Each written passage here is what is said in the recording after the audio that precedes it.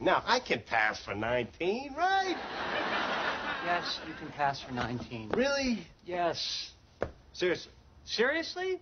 Seriously, no. Okay? You can play your own age, which is 31.